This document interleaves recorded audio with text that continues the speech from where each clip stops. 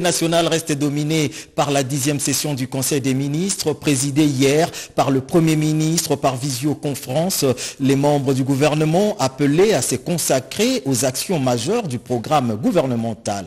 Vous suivrez également dans ce journal les 87 agents du ministère des Affaires étrangères révoqués depuis 2015 pour usage défaut, l'examen de leur dossier administratif soumis à une commission pour les traiter au cas par cas. Mesdames et messieurs, bonjour et bienvenue dans cette édition de la mi-journée de ce samedi 3 juillet 2021 sur la RTNC. Et vous savez également que la République démocratique du Congo a célébré le 30 juin dernier le 61e anniversaire de son accession à la souveraineté tant nationale qu'internationale, une occasion pour le président de la République Félix Antoine Tshisekedi Chilombo d'adresser un message à la nation. Il a mis également un accent particulier sur le développement du numérique. On écoute le président de la République. Sur le plan environnemental, nous n'avons cessé de réitérer notre ferme engagement pour la mise en œuvre de l'accord de Paris afin de contribuer à la lutte globale contre le changement climatique. Nous avons également plaidé pour un prix équitable et rémunérateur du carbone forestier, de même que la prise en compte de la conservation et de la régénération de nos forêts et l'accès aux bénéfices y afférents. Cette position se justifie dans la mesure où notre pays constitue le deuxième poumon climatique mondial après l'Amazonie pour la protection de l'humanité contre les conséquences des gaz à effet de serre. Mes chers compatriotes, toujours dans cette volonté d'améliorer le bien-être de nos populations et de promouvoir le développement, j'ai fait le pari de miser sur l'apport de nouvelles technologies du numérique le développement et la promotion de nouvelles technologies de l'information, secteurs qui, sans aucun doute, transformeront et moderniseront notre pays dans de nombreux aspects. Ce pari qui se matérialise notamment à travers le plan national du numérique et la création du ministère du numérique se révèle crucial pour nous permettre de faire collectivement un bond en avant vers une société mieux organisée, mieux gérée et plus transparente. En ce qui concerne les apports qui pourraient être générés, on pourrait citer par exemple l'identification digitale de notre population, la fourniture de données statistiques fiables à notre administration, la maximisation des recettes grâce aux techniques et autres logiciels de contrôle ou encore à la numérisation du cadastre foncier et minier, d'où s'évaporent chaque année de précieuses ressources. La dixième session du Conseil des ministres s'est focalisée sur les actions majeures du programme du gouvernement de la République. Le Premier ministre Jean-Michel Samalou Kondé, qui a présidé euh, ce Conseil des ministres par visioconférence, on écoute le compte-rendu avec le ministre de la Communication et Médias, Patrick Mouyaya, et porte-parole du gouvernement. Au démarrage de cette dixième réunion du Conseil des ministres, le Premier ministre chef du gouvernement a exhorté les membres de son équipe à rester concentrés sur le programme d'action du gouvernement dont les priorités majeures sont, au plan politique, il s'agit des efforts pour la restauration de l'autorité de l'État et le retour de la paix dans la partie est de notre pays, l'instauration d'un État de droit et le respect des droits humains, l'organisation d'un recensement général pour permettre aux Congolais de disposer d'une carte d'identité et enfin l'organisation des élections à bonne date. Au plan économique, il est question de la diversification de l'économie, de la maîtrise du cadre macroéconomique, de l'amélioration du climat des affaires et de la relance de la production, notamment par l'agriculture. Au plan de la reconstruction, la réhabilitation et la construction de routes, des ponts et autres édifices, la protection de l'environnement, de nos forêts. Au plan social, la poursuite du programme de gratuité de l'enseignement, pilier du quinquennat, et la couverture universelle de santé. Abordant le point relatif aux récents attentats terroristes survenus à Béni, le Premier ministre a particulièrement attiré l'attention du Conseil sur le changement des méthodes et les recours à des tactiques terroristes pour monter la peur dans la population. Cette attitude, en réaction à la pression de nos forces armées, pousse le gouvernement à accroître le soutien à nos forces armées et à nos services de renseignement pour poursuivre tous ces terroristes. Et dans cet autre extrait euh, de la dixième session du Conseil des ministres, euh, la communication du Premier ministre Jean-Michel Samalou Condé a en outre porté sur euh, la couverture sanitaire nationale, notamment l'évolution de la situation de la pandémie à Covid-19, suivant encore une fois Patrick Mouyaya Katembwe, ministre de la Communication et Médias et porte-parole du gouvernement dans ce compte rendu. Au point 3, toujours sur ce chapitre relatif au point d'information, le ministre de la Santé, Hygiène et a fait le point de l'évolution de la pandémie à Covid-19. D'après les statistiques officielles qu'il a indiquées, le cumul des cas depuis le début de la pandémie en République démocratique du Congo en mars 2020 a franchi la barre de 41 241 cas confirmés dans 928 décès. Kinshasa demeure la plus touchée du pays, enregistrant 72,7% des cas, soit 29 970 sur le 41 241.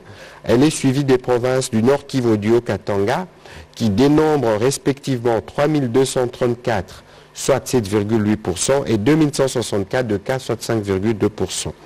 Pour prêcher par l'exemple, conformément à ce qui a été annoncé au Conseil précédent, le ministre de la Santé ainsi que la vice-ministre se sont fait vacciner cette semaine. D'autres membres du gouvernement emboîteront leur pas pour donner un coup de pouce à la vaccination. La participation de la RDC euh, aux conférences des ministres des Affaires étrangères des pays membres euh, de la coalition euh, contre le terrorisme et du sommet du G20 en Italie est une réussite. Notre consoeur Doris Mozo en vient et nous fait un bref résumé dans ce reportage. En Italie, la RDC, à travers son vice-premier ministre, ministre des Affaires étrangères, Christophe Lutundula, a pris part à la conférence des ministres des Affaires étrangères, membres de la coalition contre le terrorisme. Quel bénéfice pour la République démocratique du Congo? Christophe Lutundula est précis. Nous sommes venus ici euh, porter la voix du président, la voix du peuple congolais en tant que membre de la coalition. Nous n'avons pas manqué certainement de parler de ce qui se passe à l'est du pays, d'autant plus que le chef de l'État lui-même est sur le terrain, il est euh, au front. En prévision du sommet du G20, le ministre des Affaires étrangères, y compris celui de la RDC, pour le compte de l'Union africaine, se sont réunis pour réfléchir sur comment répondre aux méfaits de la Covid-19 sur l'économie. Lorsqu'on a parlé de la problématique de la faim et de la malnutrition, la RDC a apporté la voix de, l'Afrique. J'ai donc donné des points de vue de l'Afrique sur toutes ces questions euh, en exposant euh, notre perception du multilatéralisme et en exposant aussi nos propositions, notamment en ce qui concerne la pandémie euh, de la Covid-19. Des rencontres qui s'inscrivent dans la logique de la diplomatie d'ouverture du chef de l'État Félix Antoine Tshisekedi Chilombo que Christophe Lutundu la met en œuvre. Appuyer et soutenir les FARDC en cette période de l'état de siège est l'affaire de toutes les filles et de tous les fils de la RDC. C'est dans ces contextes qu'il faut placer ce fonds collecté par l'association des épouses des militaires et des policiers de la RDC, fonds qui a été remis officiellement au ministre de la Défense nationale, Gilbert Kabanda Kourenga. Regardez.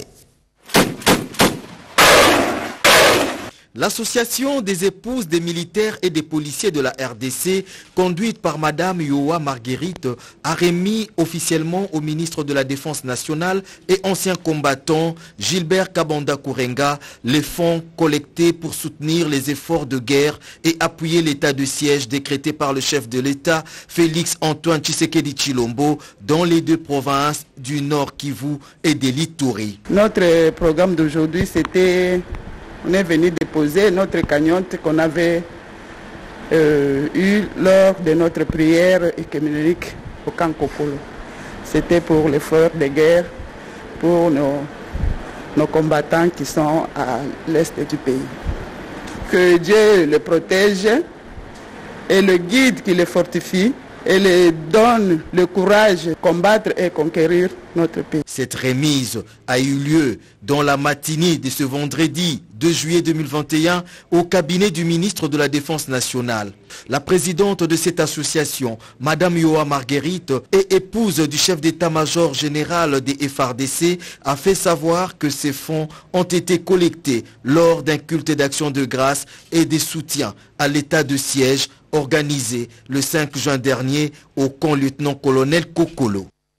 Une commission euh, a été mise sur pied pour euh, examiner les dossiers des révoqués en 2015 du ministère des Affaires étrangères. Ainsi en a décidé le vice-premier ministre, ministre en charge de la fonction publique, Jean-Pierre Liao. C'était au cours d'une audience qu'il a accordée à la délégation de ces derniers. On fait le point avec Nadine Kiloso. Ils sont les révoqués du ministère des Affaires étrangères depuis 2015 pour des raisons de détention des faux titres académiques et diplômes. Ils ont été reçus en audience par le vice-premier ministre, ministre de la fonction publique Jean-Pierre Liaou. Au cours de cet échange, ces agents ont dénoncé les graves irrégularités qui ont entaché la décision de leur révocation qu'ils ont qualifiée d'arbitraire. Ceci fait suite à la correspondance adressée à son temps à Marie Toumbadeza, ancienne ministre d'État des Affaires étrangères par l'avocat Conseil Maître Michel Bondo. Et puis ils ont également informé au vice-premier ministre, ministre de la fonction publique Jean-Pierre Liaou, qui n'ont pas été entendus pour présenter leurs moyens de défense avant leur révocation. Prétend l'oreille attentive, le patron de la fonction publique a proposé la mise en place d'une commission pour examen approfondi de ces dossiers au cas par cas, avant de soumettre le dossier au Premier ministre pour lever finalement les options claires. Cette décision a été accueillie avec satisfaction par les 87 agents reçus. Auparavant, Jean-Pierre Liaou a procédé au processus de dépistage général de la Covid-19 des agents et cadres de l'administration publique. Un lot important des thermoflash, gel hydroalcoolique a été remis à cette occasion pour lutter contre cette pandémie, telle qu'annoncée par le chef de l'État, Félix Antoine Tshisekedi Chilombo. Bien avant cette opération, le bâtiment du ministère de la fonction publique était désinfecté par l'équipe mixte santé et environnement. Le bâtiment de la prison centrale de Mbujimai Muchamanu se trouve dans un état de délabrement très avancé et qu'il faut des travaux de réhabilitation pour prévenir l'évasion des prisonniers. C'est le constat fait par le gouverneur de province intérimaire lors de sa visite dans les installations de cette prison. Regardez principal du bâtiment de la prison centrale de Mbujima et est menacé d'écroulement à cause de la vétusté de cette bâtisse qui date de plusieurs années. Ces murs présentent déjà beaucoup de fissures et est rongé au niveau de la fondation par les eaux de ruissellement. Informé par le procureur général près la cour d'appel du Kasaï oriental, Maurice Kamamana Alama, au cours d'une réunion, la gouverneure de province intérimaire, Jeannette Longa Moussamba, s'est rendue promptement à la prison centrale de Mbujimai pour se rendre compte de l'ampleur du danger. Accompagné du PG Maurice Kama, de Roger Singavola, commissaire divisionnaire adjoint de la police nationale congolaise Kasaï oriental, du directeur de la prison centrale et de son adjoint Jeannette Longa Moussamba a visité les murs en destruction dedans et dehors de la prison centrale. L'autorité provinciale a constaté que le danger d'écroulement de ces murs n'est pas à douter et qu'il faut vite entreprendre des travaux pour éviter l'évasion des détenus. J'étais en réunion en compagnie du PG et le général de la police. Après la réunion, ils m'ont parlé de ce qui se passe à la prison centrale. Donc le mur est en train de s'écrouler. C'est comme ça que je suis venu me rendre compte moi-même. En tant que province, je vais voir dans quelle mesure on va pouvoir aider le directeur de la prison centrale pour consolider le mur qui est en train de tomber. Il y a danger et nous devons intervenir rapidement. Lancement de la campagne sur les droits de l'enfant à Guémena, campagne organisée par la fondation Denise Nyakero en collaboration avec World Vision. Nous sommes là dans la province du sud Bangui. C'est un reportage, un reportage de la RTNC Guémena. Tueuse salle de fête, le chapiteau Eldorado de Guémena, chef-lieu de la province du Chubangui, a servi de cadre à un grand événement mettant en exergue le droit de l'enfant.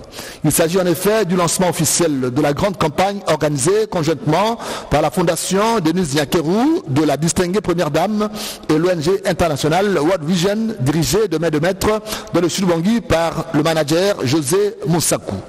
La cérémonie irrelative était présidée par le gouverneur intérimaire, son excellence Zéphirez Aboussouliwolo, en présence de la représentante de la présidente nationale de la Fondation Denise Nyakerou. Il convient de souligner que cette campagne de grande envergure est placée sous le thème Ensemble éliminant l'exploitation et les pires formes de travail des enfants en RDC. En considérant cette expérience de et la prostitution forcée des enfants dans le sud entend contribuer à renforcer les approches suspensionnées et les utiliser dans le cadre d'une stratégie plus vaste visant à traiter de manière plus approfondie la question de lutte contre l'exploitation sexuelle après quelques scénettes présentées par les enfants de Guémena avec des recommandations adressées aux hommes en place, Madame Farida Eliaka Bombede, parlant au nom de la Première Dame, a animé, projection à l'appui, une séance pédagogique sur l'exploitation sexuelle des enfants. C'est parti avec l'opération d'identification et d'enregistrement des enseignants du secteur public de la ville de Mbujimaï au Kassai oriental à la mutuelle de santé des enseignants. Cette opération va garantir une prise en charge médicale des bénéficiaires enseignants. Un reportage de nos confrères de la RTNC Mbujimaï. Le mutuelle de santé des enseignants de l'EPST a commencé ce jeudi 24 juin l'opération d'enregistrement et d'identification gratuit des enseignants assis et debout de maternelle, primaire et secondaire du secteur public de la ville de Mboujimaï. Cette opération a lieu au siège provincial de MSP Kassai Oriental, situé au numéro 125 de l'avenue Salongo, au quartier Kalundu dans la commune de Bipemba. À cette occasion, le personnel enseignant mécanisé par ces copés, références logicielles, procède au remplissage du formulaire en passant par l'identification pour terminer par la capture de la photo. Une fois l'opération terminée, l'enseignant aura droit avec sa famille restreinte à suivre gratuitement les soins dans une formation sanitaire qui a signé le contrat avec la MESP. Nous allons identifier les enseignants de Mbujimaï 1, de Mbujimaï 2 et de Mbujimaï 3. Et du côté de, la contractualisation, nous allons euh, négocier avec les formations sanitaires sur un tarif préférentiel à accorder pour toutes les prestations de soins que nous aurons à offrir aux enseignants de l'EPST.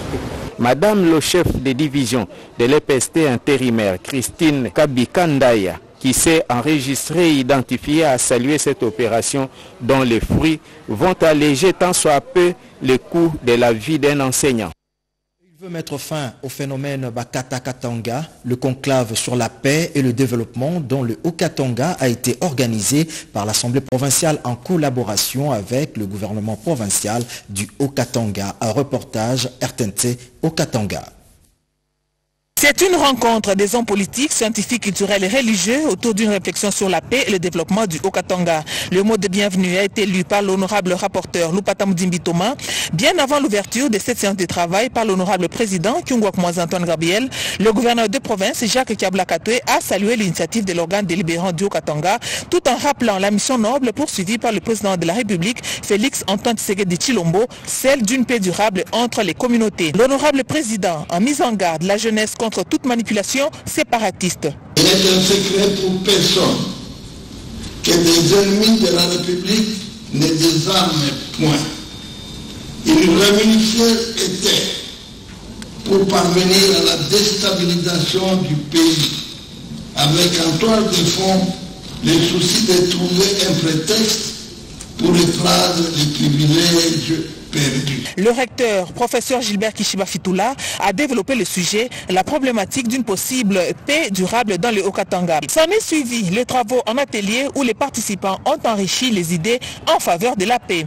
Les résolutions ont été formulées et soumises à l'assistance dans le cadre de cultiver une paix durable dans le Haut-Katanga. L'égalité des hommes et des femmes, l'égalité raciale, vouloir vivre ensemble, devoir vivre ensemble. L'honorable président, le patriarche Kyungwak Antoine Gabriel a clos les travaux du conclave pour la paix dans le Haut-Katanga.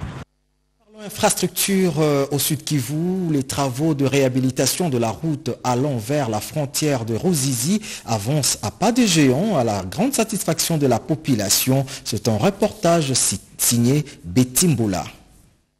L'appropriation du vaste et transversal projet Chile-Gelou du chef de l'État Félix Antoine Tshisekedi Chilombo par la grande communauté socio-spirituelle KCC de l'église Bon Nouveau Message, projet multisectoriel axé sur la connexion par voie routière des grandes villes et cités congolaises de toutes nos 26 provinces, a vu la synergie de forces vives de la dite communauté traduire concrètement en acte cette vision présidentielle, dans l'acquisition sur fonds propres d'un engin de travaux publics à même de réhabiliter et de moderniser toutes les routes de dessertes agricoles dans notre pays. Bel exemple de patriotisme spirituel. Dans mes idées, c'est pas seulement pour le les spirituels, mais aussi pour le développement de notre pays. Nous sommes disposés à accompagner notre Père de la nation, le président de la République, Félix Antoine Tshisekedi.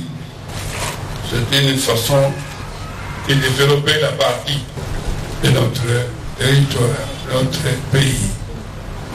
Nous avons participé, travaillé, arrangé, sommes en train de créer aussi pour la continuité de ces aides sociales, de ces aides du développement Hormis les travaux de modernisation, de réhabilitation, des routes de dessert agricoles, cet engin servira aussi aux travaux champêtres et agro-pastoraux qu'auront à réaliser au quotidien les frères et sœurs, membres de la grande communauté KCC de l'église Bon Nouveau Message.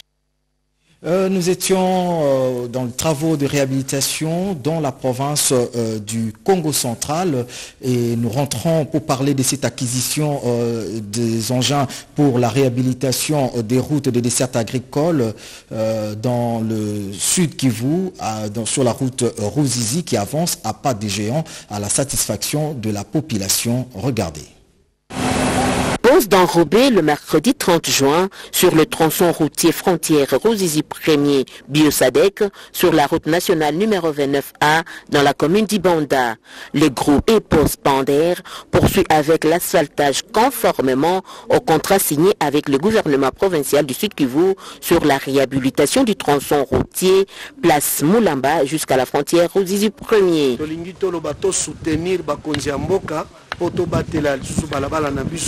mpo na tosoutenir bango na priere tosoutenir bango na makanisi mpo mboka na biso ezwa changement ya malamu mpe kitoko.